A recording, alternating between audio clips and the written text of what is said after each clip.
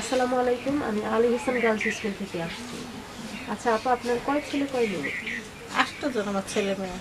মেয়ে কয়জন? মেয়ে ছয়জন। আর ছেলে দুইজন। আচ্ছা আর মাইমা হচ্ছে আমাদের স্কুলে পড়ে।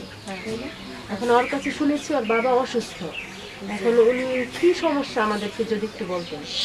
উনি স্ট্রোক হওয়ার পর থেকে মনে করেন যে চলাফেরা করতে পারেন না হাত দিয়ে উঠে খাইতে পারেন না। সব আপনার নিজের সব আমার দিতে করে হয়। দিতে হয়। উনি প্যারালাইজডের মতো হ্যাঁ। এরকম হয়ে আছে। আচ্ছা। ওনার প্রতি মাসে কত টাকা ওষুধের খরচ যায়? দুই হাজারের মতন। দুই হাজারের মতো।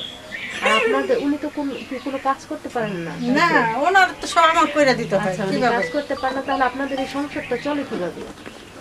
বড় ছেলে একটু রঙের কাজ করে প্রতিদিন হয় না This interview took place in January 2023 when we learned that Maima's family was in dire straits. It was at this time that we had a conversation with his mother. Sadly, Maima's mother passed away a few months ago. As a result, the entire family is now orphaned. Let's hear from Maima's elder sister.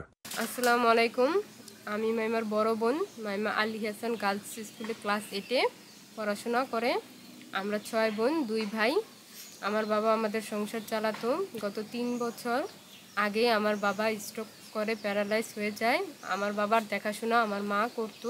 গত তিন মাস আগে আমার মা stroke করে brain stroke করে মারা যায়। আমরা ছয় বোন, বড় দুই বোনের বিয়ে হয়ে গেছে। আমরা চার বোন এখন পড়াশোনা করি টিউশন করে আমাদের সংসারের খরচ যোগাই আমার দুই ভাই, এক ভাই কাজ করে, আরেক ভাই মানসিক রোগে আক্রান্ত।